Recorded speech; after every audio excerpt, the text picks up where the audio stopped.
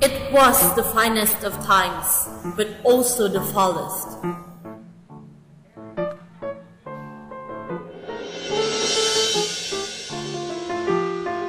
Life was unfair.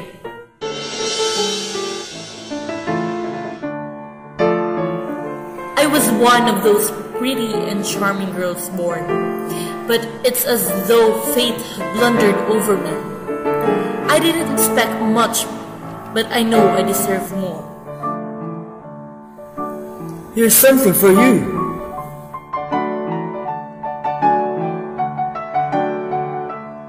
The Minister of Education and Madame Ramponneau request the pleasure of the company of Monsieur and Madame Mademoiselle. What's the matter with you? I have no dress!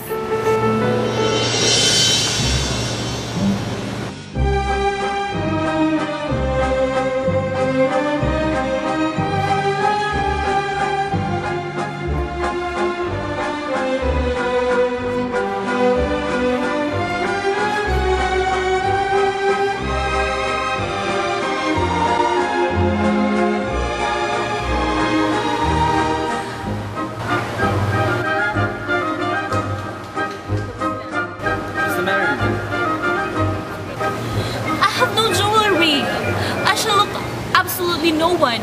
I would rather not go to their party. Are you stupid? Just borrow from your old friend. Cheers, my dear. Did you lend me this?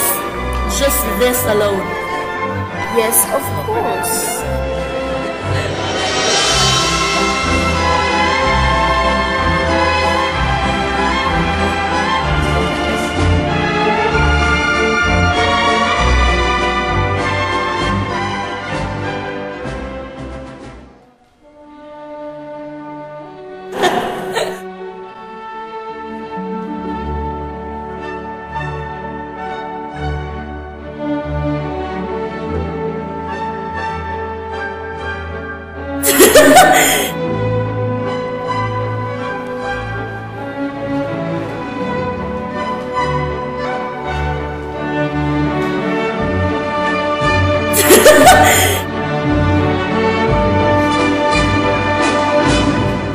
night, I am triumphant.